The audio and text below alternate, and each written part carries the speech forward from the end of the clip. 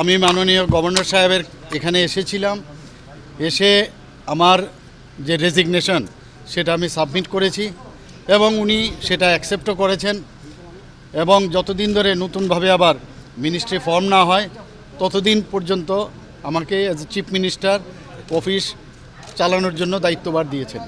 তো সেই জন্যই এখানে আসা। Will most probably most probably tentatively on eight the vote taking ceremony would be held.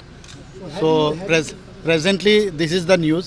So may change or may not change. But uh, this is our tentative uh, news which I have uh, gathered just now. ভালো result হয়েছে আমরা absolute majority নিয়ে এসেছি এর জন্য কালকে তো আপনাদের প্রেস কনফারেন্সের মাধ্যমে সমস্ত ত্রিপুরাবাসীকে আমি ধন্যবাদ দিয়েছি সবাইকে আমি ধন্যবাদ দিয়েছি